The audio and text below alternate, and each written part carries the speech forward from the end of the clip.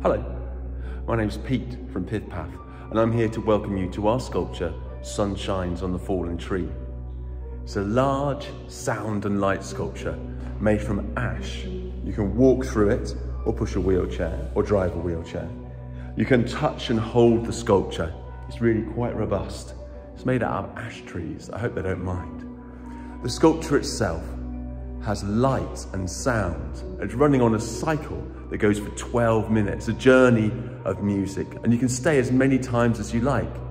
If you want to sit down, we've always got these four sculptural benches. There will always be room for a wheelchair. You can also sit on the floor or stand, however you feel comfortable.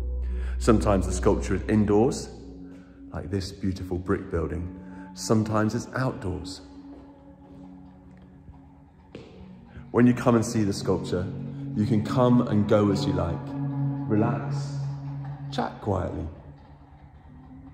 make yourself at home. If you've got any questions, get in touch with Pif-Paf.